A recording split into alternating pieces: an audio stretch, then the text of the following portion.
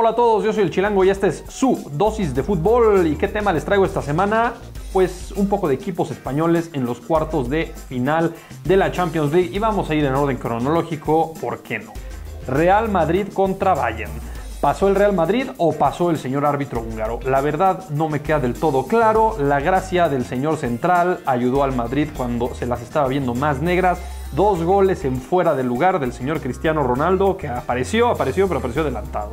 Criterios totalmente diferentes con Vidal y Casemiro. Es cierto que la expulsión de Vidal es una jugada que no es foul. También es cierto que se debió de haber expulsado antes. Pero también es cierto que Casemiro cometió como 12 faltas de tarjeta amarilla y vio solo una. Cuando le pega a Robben antes de la roja de Vidal, el árbitro se lleva la mano a la bolsita y cuando lo ve dice como que ah, mejor no. El Madrid se quejaba y me dio una risa ver a mis amigos madridistas que se quejaban de que el Barcelona robó para ganarle al París y ahora hicieron exactamente lo mismo con un Bayern que a diferencia del París contra el Barcelona fue mucho mejor que el Madrid en el segundo tiempo, inclusive con 10 hombres. Y bueno, ya que estoy en el tema, hablemos del Barcelona. El Barcelona fracasó. El Barcelona remontó un partido que yo dije imposible contra el PSG, pero la Juve no es el PSG, señores. La Juve se paró con una defensa épica. El señor Chiellini es el mejor defensa del mundo, le pese a quien le pese.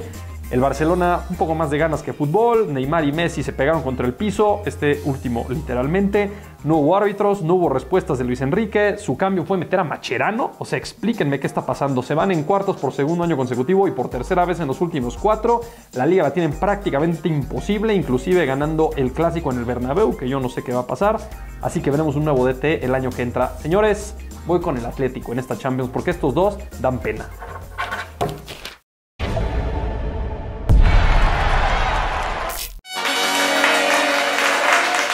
Y así llegamos a tu sección favorita, la de los memes, ¿no? Donde pues ponemos lo más gracioso que hubo en imágenes durante la última semana. Y para no perder la costumbre vamos a arrancar con el fambolero de la semana que nos manda esta imagen. En esta ocasión Jesús Huerta que dice, miren, cualquier parecido con la realidad. Y perdón, pero salgo ganando, ¿eh? Si ven la serie saben. Y pues bueno, nos seguimos. Yo aquí les traigo este meme bonito donde Neymar dice, mira, qué tristeza saber que te pierdes la semifinal, pero tus amigos también. Y pues Melissa, que no podía dejar pasar la oportunidad de recordar a los Pumas quién es su padre. Y pues bueno, el CR4 que dice, ¿qué pasa cuando agarran al mayor ratero? Y yo en esto es lo que estoy pensando. Y pues el doctor, que se vio la falla de Higuaín, que podía haber matado al Barcelona, aunque acabaron muriendo, y dice, es un clásico, Fallaín. Y pues el zorro, muy nacionalista, con muy buena, con muy buena memoria, dice, eso no era penal, este tampoco era penal. Y te lo afirmo, y te lo afirmo. Bien firmado, zorro, que se va a ir a firmar. Y pues por último el chilango, que se vea nada más al CR4, al CR7, que sí estaba habilitado. Y de eso tenemos un poco de qué pensaba. Y esta semana eh, vamos a ver los ganadores del anterior, hace dos, porque estábamos, este, ya saben, en, las, en la Pascua, es la semana pasada. Pero tuvimos esta fotito de el Chucky Lozano ahí brincándole y elegimos a Carlos Aguilar que dice: Libre soy, libre soy. Se sintió este Frozen ahí nuestro, nuestro chat. Can, cantas muy bien, Chilango, ¿eh? ¿Verdad, zorro? Erubiel Zamora dice, miren, maté un dinosaurio. Pues ha de haber sido algún director técnico de la América o algo así, ¿no? ¿Quién sabe? Jonathan Ramírez dice, cuando te toca jugar contra el Cruz Azul. Gratuito, mi Jonathan. Gratuito. Ángel Josué Enríquez Velasco. Cuando ves al chilango en el camión y corres a alcanzarlo. Martín Guillén. Me voy, mi planeta me necesita. Es que el Chucky juega de otro planeta, mano. Alejandro García. Mira, mamá, sin lesiones. Pues es que ahora nadie lo pateó. ¿eh? María Elena Fernández, como cuando te crees Goku. Saúl R14, a la mierda del fútbol, yo quiero ser Mario Bros. Ligando por el longuito, ¿verdad? Marco Antonio Núñez, cuando tu mamá te dice quédate con el cambio.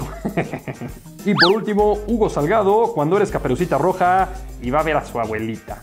Y bueno, eh, para la próxima semana tenemos esta foto de eh, Excelsa, perdón, de de Paco Palencia, tapándose eh, ahí el oído. Ustedes dirán, ya saben, hashtag qué pensaba eh, aquí en los comentarios de YouTube o mándenmelos al Twitter, arroba chilangofambo. Y la semana que viene leemos los más súper graciosos. Y con eso llegamos a nuestra mesa redonda del día de hoy. Traigo a dos de los ponentes más destacados que hay en este edificio. Entonces, este, pues hablemos un poquito del estado de la liga. No quedan tres partidos, ningún clasificado matemáticamente, ningún eliminado matemáticamente. Aunque Toluca, Tijuana y Chivas están muy bien parados. Y eh, Cruz Azul, Necaxa, Chiapas y Puebla, pues eh, lo contrario. ¿no? Me sorprende, hablando ahorita de que dices Cruz Azul, me sorprende que va y le gana al campeón. ¿Cómo es posible eso? Y viene y pierde con Puebla. Al líder. Líder totalmente. Al líder. Toluca. El campeón de Tigre. El campeón es Tigres. Ah, perdón, tiene razón. Sí, va y le gana al Toluca. líder. Y Toluca que está jugando muy bien, pero pues así pasa con el Cruz Azul, pierde cuando no debe perder. Y qué forma de Cruz Azulearla otra vez, último minuto. Yo cuando vi que quedó 2-1 dije, nada más voy a checar en qué minuto fue el segundo. 93. Y mira que si Cruz Azul le ganaba a Puebla, que es el sotanero general de la tabla, se metía con 17 puntos al lugar número 12 y a 3 de zona de liguilla, ¿eh? O sea, estábamos hablando de una cosa muy seria, pero pues no. Y tu equipo favorito, el América Chilango, como siempre. Aburriendo de forma El consistente. rey, el rey del 1 a 0. El rey de 1 El a 0. rey del como 1 a siempre. 0. Ratonero la golpe. La golpismo, oye, y el Atlas en séptimo lugar, No, ¿eh? pero déjate ¿Quién de los eso. viera? Hemos tenido los- el triunfo a manos abiertas o a puertas abiertas más bien. Pero se nos han ido, se nos han ido de la mano. A Lustiza y Fidel Martínez. Están jugando muy bien los dos. Ese muchacho Lustiza hizo una rabona en el partido contra Santos. Muy buena. Y a Fidel Martínez ya le faltan como tres equipos para jugar en toda la liga, ¿no? Nada más. Oye, lo que pasa con el Atlas en el séptimo lugar, todavía en zona de liguilla, pero sienten los pasos, ¿no? Ahí viene apretando duro eh, eh. Tigres y León. Tigres está en noveno y León, que era sotanero general hace unos días, está en doceavo con 16 puntos. No todavía cuatro de, de la zona prometida. Morelia y Pumas son los que están este, en la orillita. El que sí me da una lástima y mucha pena es el Veracruz. ¿Y con quién tenían que perder? Con el Necaxa. No, el Necaxa ha ganado los partidos que tenía que ganar, ha jugado horrible, señor Sosa. Por favor, no, por supuesto. Señor Sosa, por favor, por favor, ya pues déjelos jugar. Mire, faltan tres partidos para terminar la temporada. Ya amarraron la permanencia. Definitivamente, sí. Ya no van a entrar a la liguilla por el ridículo torneo que han hecho. Déjelos jugar los últimos tres juegos, un poquito ofensivos, a ver cómo funciona. Quién quita y de rebote y un milagro y no hasta nos podríamos meter a la liguilla, pero jugando diferente. Eso de estar encerrados atrás, un pelotazo a ver si Puch resuelve el juego. Eso no paga, señor Sosa, eso no paga. Y el que le está dando mucho gusto también es Jaguares. Se va para abajo como. como, Como gordita en tobogán. Como Moisés Muñoz, el error que cometió, ¿no? El- Se le fue. Es, es héroe en muchos partidos y le aplauden y lo alaban. Yo he estado ahí. Pero en esta no sé qué le habrá dicho la gente. no que le habrá dicho el piojo. A ver, pues, somos cuates, Moy, ahora le regálame un golecito. Que no puede ser esa forma de. Y un saludo a los Pumas que se comieron cuatro de los Tigres. Para variar. Totalmente cuatro. Normalmente bien contra Tigres, pero ahora Pero sí. nos- yo quiero, yo quiero decirle algo, a Jürgen Damm. Jürgen Damm. Que sea más original en sus. Es, que Sí. es una verdadera huevada. Esas, esas son unas verdaderas huevadas. Dile que no, dile que no produzca, ¿no? Parece el señor Burns. Pues bueno, eh, tendremos ya más definido el cuadro de liguilla la semana que entra y pues hablaremos entonces, ¿ah? Yo creo que ya hablamos de que el fin de semana ya contamos con varios calificados, Rayo.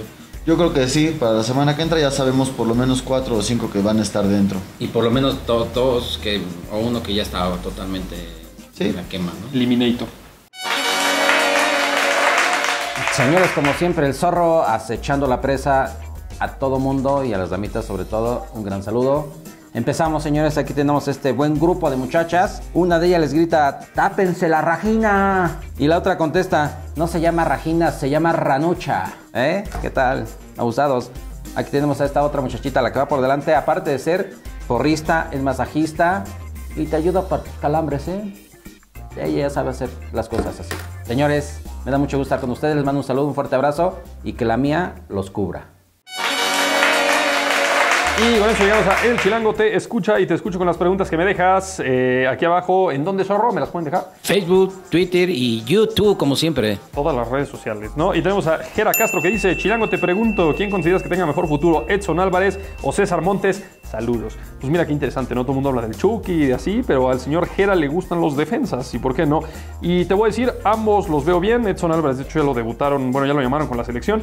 Pero a mí me gusta un poquito más César Montes, eh, más alto, más fuerte, va muy bien por alto y creo que para ser defensor tiene un excelente manejo y control de balón. Así que ojalá que los dos sean grandes. Yo veo a César Montes un poquitín mejor, ¿no? Eh, y bueno, eh, hasta ahí llegó nuestra dosis de fútbol. Déjennos sus comentarios aquí abajo. Síganme en Twitter, arroba. Chequen el unboxing de esta semana que se hizo el CR4, que a pesar de que es un becario le quedó bastante bien.